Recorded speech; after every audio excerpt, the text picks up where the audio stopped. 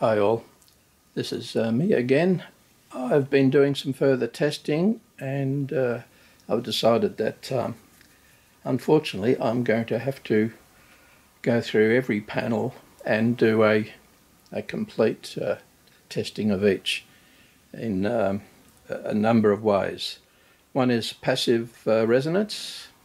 The first passive method uh, is with the mylar at the front next to the microphone and the speaker forcing through the half panel.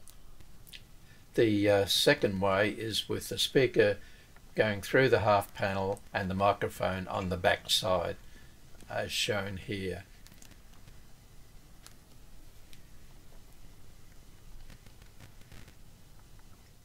My third subset of uh, passive is uh, with uh, the whole panel uh, in one piece with a the speaker one side and the microphone the other.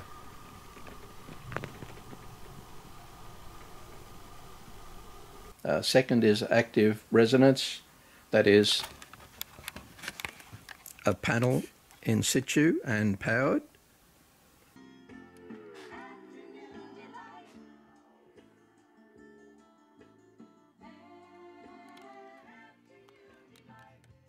This is a treble panel so what I've done, I've uh, connected all of the stator rings to the outside stator potential and uh, so it would appear like one one uh, bass panel.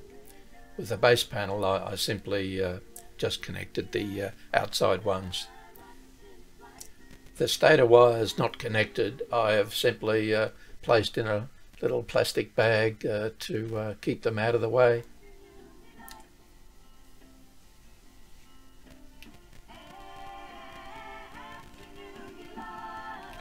And this is and this is going to take a while. So so I'll get back to you as soon as I've uh, done some work.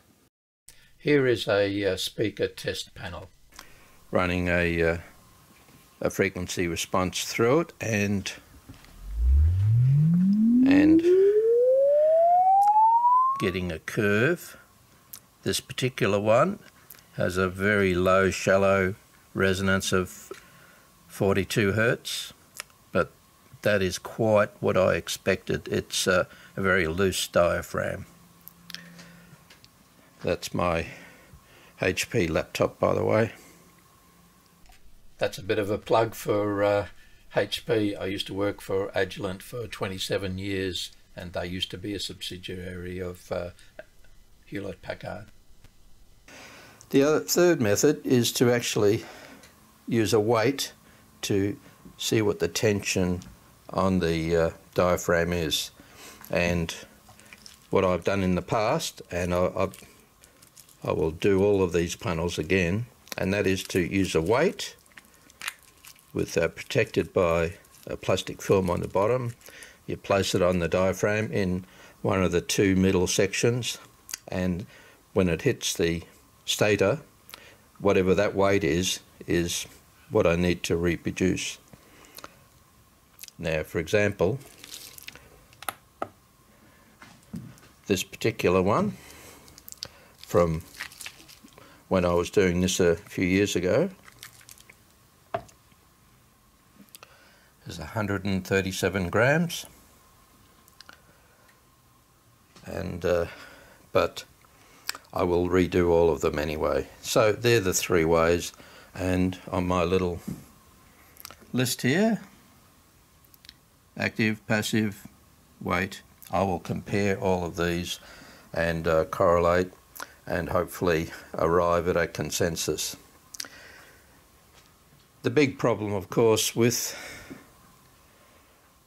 with uh, determining this is that there's very little information out there uh, from either any technical papers from Quad themselves and uh, e even on the web it's very hard to find information about what the resonance or weight should be. They, those who repair the panels, I guess, wish to uh, keep the information to themselves for obvious reasons. But that's not me. Whatever I learn, will be on this uh, video. Rather than extend this uh, video, I'm going to uh, post my results in the uh, next video. Part C, Part C out, out shortly. shortly.